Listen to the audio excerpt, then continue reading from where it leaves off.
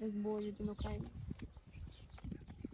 Da, nu, noi nu, nu tare cu dânsul, nu suntem la curent așa. Cum, suntem la curent că e război, dar nu. Știm ce se întâmplă, dar mai nu s-ar întâmpla, că tare ne teme să nu vii și peste noi. Mhm. Ceea ce se întâmplă acolo, să nu și la noi. Cel mai mult suferă poporul simplu, oamenii simpli.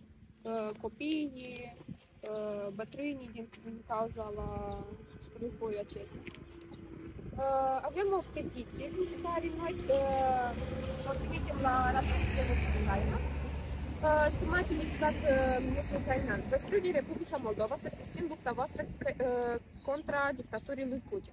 Recunoaștem că această luptă este necesară pentru dumneavoastră și of- o acordă un scut și o protecție militară pentru întreaga Europa, inclusiv pentru Republica Moldova, pentru că dacă cedează Ucraina, uh, putem fi chiar și noi următori, pentru că Noi suntem prima vecini. țară, da. Uh, Doresc o colaborare strânsă între armatele noastre, a Republicii Moldova și a Ucrainei, pentru că uh, ei deja de un an duc acest război și noi avem ce învăța de la militarii care au, uh, sunt în război. Recunosc că uh, avem un dușman comun care deja de 30 de ani a ocupat Transnistria, așa cum a anexat și Crimea, Donetsk, Lugansk și Zaporozhia. Cum credeți? Sunteți de acord cu această petiție? În general, ați fi de acord cu această scrisoare, dar nu doriți să semnați. Așa am înțeles. Cam așa ceva. Dar despre canalele astea ruse, care, uh, șase canale Ei, pot... o trebuie să le les, că Dar pe acolo multă propagandă era. da, mai privei, mai altă. Amuiană nu, nici nu înțelegi care și unde s-au mutat, că stăti, când își dai pe alte canale, tot aceleași, la unul, la altul. tot așa.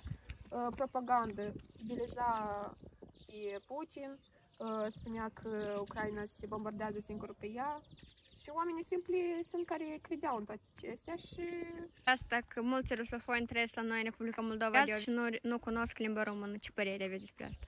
Ar trebui să învețe limba de stat. E clar că trebuie, noi dacă ne dacă- ducem peste hotare unde nu te duci, și așa Germania, și așa Franța, noi limba e cam băiet în Franța.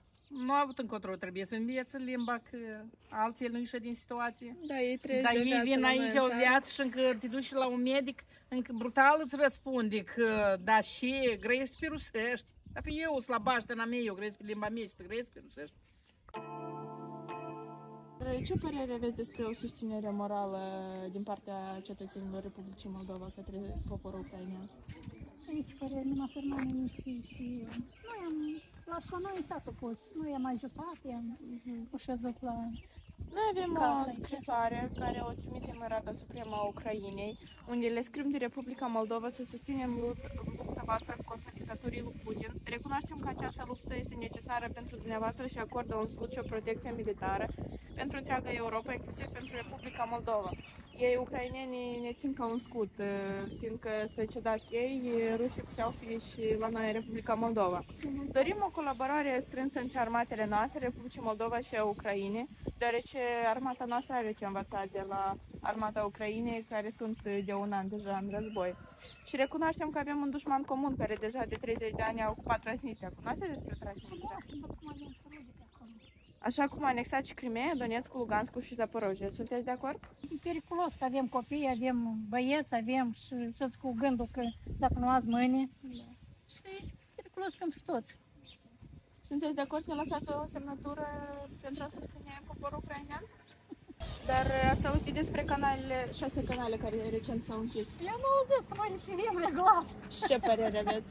Ar trebui să deschide ei mai permutați din canale ce le-au pus pe altele. Da, așa erau canale preferate care mega NTV-ul și le primul. Dar cunoașteți că în aceste canale era o propagandă rusă? E, în toate canalele, să- că noi avem uh, televiziune și, și tot găsești. Da, dar acolo erau știri false, cum că Ucraina se bombardea singură pe dânsă, idealiza pe Ei, Putin. da, muia ia ca de cazul tati mai e la alta, ieri apoi și ea zice că stop uh, Ucraina. Și ea și ne